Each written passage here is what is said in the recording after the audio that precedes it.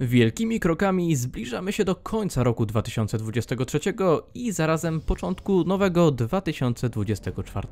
Roku, w którym premierę ma mieć niezwykle mocno wyczekiwany przez nas remake pierwszego Gotika. Mój ostatni film na temat tej gry wleciał na kanał w lutym, czyli dobre ponad pół roku temu i od tego czasu twórcy remake'a podzielili się z nami, fanami, sporą ilością nowych informacji na temat ich produkcji, które odbierane są z grubsza pozytywnie i tylko podsycają ekscytację związaną ze zbliżającą się premierą remake'a. I to właśnie wszystkich najnowszych informacji, jakie znamy na temat tego, jak będzie wyglądała przyszłoroczna produkcja, będzie dotyczył dzisiejszy odcinek. Zapraszam do oglądania.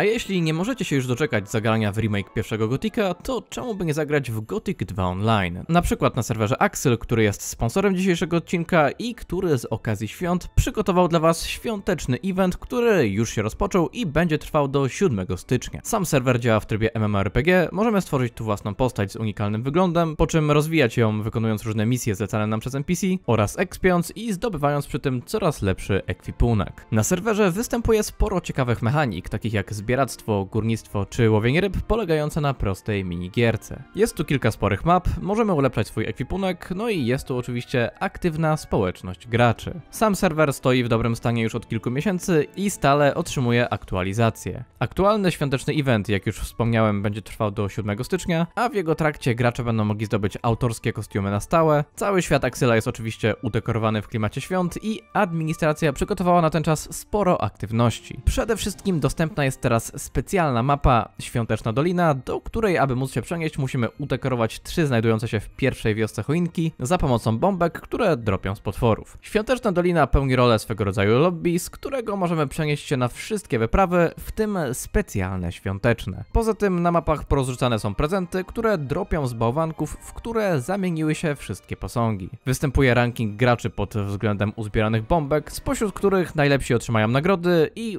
wiele, wiele więcej świątecznych aktywności. Bardzo serdecznie zapraszam Was do zagrania na tym serwerze, a wszystkie linki potrzebne Wam do ogarnięcia jak na niego wejść, m.in. do serwerowego Discorda, znajdziecie w opisie. No ale przejdźmy do filmu. Zacznijmy więc od jednego z pierwszych newsów na temat odświeżonego Gotika, jaki został opublikowany po wypuszczeniu przeze mnie poprzedniego filmu o remake'u. Dotychczas mogliśmy zobaczyć stary obóz m.in. z perspektywy widoku na bramę do wewnętrznego pierścienia, jednakże w marcu tego roku internet obiegło zdjęcie monitora, na którym odpalony jest remake Gotika i widać na nim strażnika skierowanego na prawo od południowego wejścia do starego obozu. Możemy też na nim dostrzec m.in. aktualne wtedy, bo nie wiemy czy nadal tak wyglądają, paski punktów życia oraz many. To taki drobny news. Zdecydowanie większym newsem było opublikowanie w sierpniu tego roku przez THQ Nordic nowego trailera o tytule Welcome to the Old Camp, na którym możemy zobaczyć sporą część zewnętrznego pierścienia starego obozu z perspektywy jakiegoś prawdopodobnie kopacza złodziejaszka. Na trailerze możemy zobaczyć niezwykle żywy świat Gotika, jak i to, że poszczególne miejsca w obozie zostały odwzorowane bardzo wiernie w porównaniu do oryginału, z tym, że po prostu wyglądają tak, jak powinny wyglądać w 2023 roku. Wśród obozowych aktywności możemy zobaczyć próbę kradzieży, konflikty między mieszkańcami czy brutalne egzekwowanie prawa przez strażników w obozie.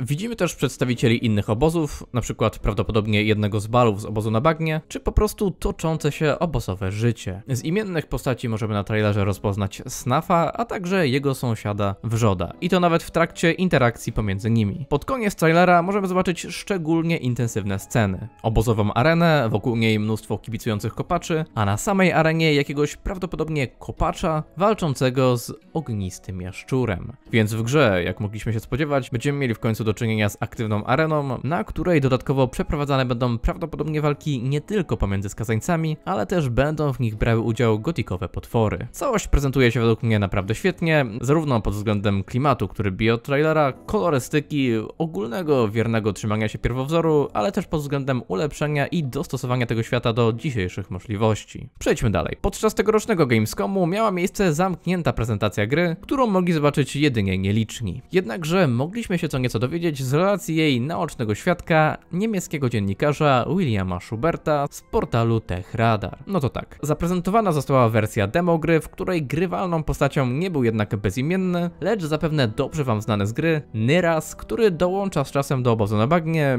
i jak pewnie dobrze pamiętacie, to po walce z nim zdobywamy pierwszy kamień ogniskujący. No ale wróćmy do prezentacji gry. Wydarzenia w przedstawianym demie mają miejsce 6 miesięcy przed wrzuceniem bezimiennego za barierę i widzimy na nim jak zrzuconego do kolonii Nyrasa odwiedza nie kto inny jak sam Diego, późniejszy przyjaciel bezimiennego. Dzięki temu możemy poznać wygląd tej postaci, który powinien wyświetlać się wam gdzieś w tle i muszę przyznać, że został odwzorowany dosyć wiernie. Nyras jako swoją pierwszą broń, podobnie jak bezimienny, znajduje kilo, w którym ponoć posługuje się równie mizernie jak Bezi na początku gry. No właśnie, jeśli chodzi o zaprezentowany w demie system walki, to podobno został on ulepszony, lecz nadal jest bardzo podobny do tego występującego w pierwowzorze. Dowiadujemy się również, że w remake'u występować będzie znany z gotików system nauczycieli, od których będziemy uczyli się poszczególnych umiejętności. Podczas prezentacji gracz spotyka na swojej drodze Kirgo, który zajmuje się oczyszczaniem drogi w kierunku przełęczy. I tutaj następuje dialog z nim, który nie pochodzi jednak bezpośrednio z pierwszego gotika, lecz jest napisany wręcz od nowa. Ale moim zdaniem jest to plus, gdyż Kirgo podczas dialogu odnosi się do świata znanego nam również z drugiej i trzeciej odsłony. Mówi, że pochodzi z Warantu, wspomina też Korinis oraz znaną nam z drugiego gotika postać Rosji, być może żonę Sekoba, z którą miał mieć romans. Oczywiście może to być jednak zupełnie inna postać, po prostu o takim samym imieniu. Dowiedzieliśmy się również, że Gothic Remake nie powstanie jednak na silniku Unreal Engine 4, jak początkowo planowano, lecz na Unreal Engine 5, na który została już przeniesiona całość kodu gry. Świat gry ma być większy o jakieś 20-30% w porównaniu do pierwowzoru, a jeśli chodzi o fabułę, to twórcy planują wprowadzić pewne zmiany w głównym wątku, które mają ponoć dotyczyć czwartego rozdziału. A jest to przecież dość istotny rozdział, w którym sporo się dzieje, gdyż to właśnie w jego trakcie spotykamy po raz pierwszy nekromantek Sardasa, dowiadujemy się prawdy o śniącym, a stary obóz napada na kopalnię nowego obozu i od teraz jego członkowie są do nas wrogo nastawieni. Jestem ciekawy, co w tych kwestiach się pozmienia. Być może jako członkowie starego obozu nie zostaniemy z niego od razu wykluczeni. No, jestem tego bardzo ciekawy. Poza tym twórcy zamierzają wykorzystać w remake'u niewykorzystany ostatecznie w grze content, czym zapchają dziury fabularne i dzięki temu będziemy mieli po prostu w kolonii więcej do roboty. Jeśli zaś chodzi o premierę Gothic Remake, to ma się ona odbyć w drugiej połowie 2024 roku i będziemy mogli w niego zagrać na PC oraz konsolach PlayStation 5 i najnowszych Xboxach. Kolejną rzeczą, którą pokazali nam twórcy są grafiki koncepcyjne przedstawiające bronie, które pojawią się w grze. Pośród łuków, mieczy, toporów czy maczug znajdują się nowe, nieznane dotąd bronie, ale sporo z nich jesteśmy w stanie rozpoznać i porównać je z ich odpowiednikami z pierwowzoru, co postanowili zresztą zrobić niektórzy gracze. W trakcie filmu wam też powinno się wyświetlać kilka porównań konceptów nowych broni z tymi starymi z oryginału. Trzeba przyznać, że niektóre z nich zostały odwzorowane naprawdę wiernie. Koniecznie dajcie znać w komentarzach, co o nich sądzicie. A teraz przejdźmy do potworów. Dotychczas na moim filmie zaprezentowałem wam remake'owego kretoszczura, ścierwojada, gobliny, pełzacze czy krwiopijce. Od tamtego czasu twórcy remake'a zaprezentowali nam również grafiki przedstawiające harpie oraz szkieleta maga, gdzie szczególnie w stosunku do pierwowzoru zmienił się wizualnie ten drugi potwór. Jego szata wygląda zdecydowanie bardziej okazale i trzyma on kostur, którego brakowało mu zarówno w pierwszym, jak i drugim gotiku. Swoją drogą, być może my też będziemy mieli dostęp do tego typu broni wzorem trzeciego gotika. Harpia oczywiście również wygląda zdecydowanie lepiej, z pewnością jest mniej ludzka od tej z oryginału, jak zresztą trafnie ocenił dr Borginson i generalnie jest zrobiona zdecydowanie bardziej szczegółowo i według mnie wygląda o wiele bardziej harpiowato, że tak to ujmę. Zostając jeszcze chwilę w temacie potworów, za chwilę będziecie mogli usłyszeć odgłosy kretoszczura i ścierwojada podczas walki, które mogliśmy usłyszeć podczas pierwszego odcinka Gothic Remake Podcast. Yeah.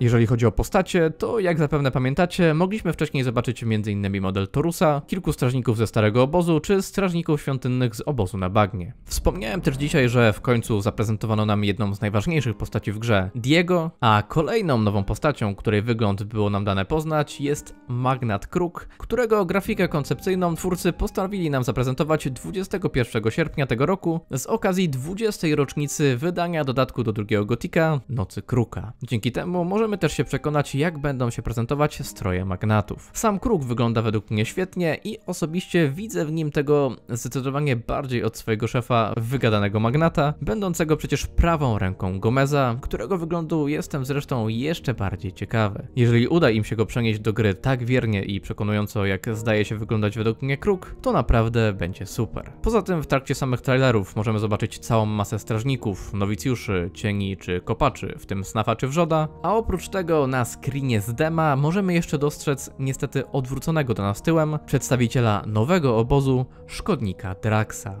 No i to już wszystko, co miałem wam do zaprezentowania w dzisiejszym filmie. Bardzo serdecznie zapraszam was do pisania w komentarzach waszych opinii na temat tego, co dotychczas wiemy o remake'u Gotika. Czy uważacie, że remake spełni oczekiwania fanów? Bo według mnie póki co wygląda to naprawdę nieźle i mam też nadzieję, że będzie nam dane zagrać w niego już w drugiej połowie przyszłego roku, jak zapowiadają twórcy. Oprócz tego zapraszam was jeszcze do subskrybowania, lajkowania oraz wspierania kanału i nie zapomnijcie sprawdzić serwera Gothic 2 Online Axel, o którym mówiłem na początku filmu. No i jako że jest to najprawdopodobniej ostatni film, jaki wrzucam na kanał w tym roku, życzę Wam wszystkim wesołych świąt i szczęśliwego nowego roku. Na razie.